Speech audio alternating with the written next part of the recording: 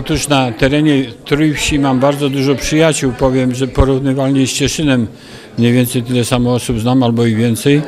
I pomyślałem sobie, patrząc na to rozbicie dzielnicowe, jak ja to nazywam, że mamy w Cieszynie trzy grupy twórcze, tu kilka, na małym terenie jest nas kilkanaście grup twórczych i zależy mi na integracji tych środowisk. Dlatego wymyśliłem sobie to spotkanie, między innymi w strojach również regionalnych, żeby zacząć pewne elementy tej integracji z nadzieją, że kiedyś nam się to uda dokończyć.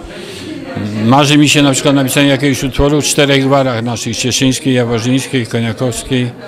Pewnie to wyjdzie, bo mam akurat takich przyjaciół, którzy tym się posługują. Otóż y, w dzieciństwie mieliśmy taką nianię Annę Lipowczan, mieszkała na Menniczej, która mówiła tylko albo po niemiecku, albo gwarą. I dzięki niej tą gwarę, mimo tego, że 43 lata spędziłem w Warszawie swojego zawodowego życia, do dzisiaj myślę gwarowo i śnię gwarowo. I pierwszy swój wiersz, który napisałem 6 lat, od 6 lat piszę w 2015 roku, był gwarowy oczywiście. Nie wiedziałem co z tym zrobić, więc po trzech dniach chodzenia jak kura z jajkiem dałem żonie do przeczytania. Ponieważ moja żona była rodowitą warszawianką, powiedziała, że chińskiego nie zna, dałem do oceny swojej wychowawczyni, pani magister Gawlikowskiej. Napisała, że Heniu jesteś prawie tak biegły jak Jasio Chmiel, więc to było jakbym dostał Nagrodę Nobla, ośmieliło mnie to. No i potem się te wiersze posypały. Przez te 6 lat no około 200 się już zebrało.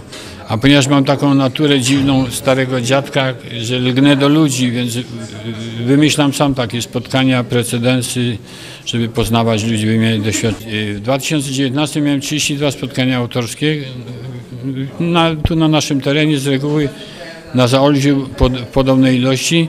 Byłem umówiony również w Warszawie, ponieważ w Warszawie mamy duże koło Macierzy Ziemi Cieszyńskiej. Umówiony byłem na spotkanie w maju zeszłego roku.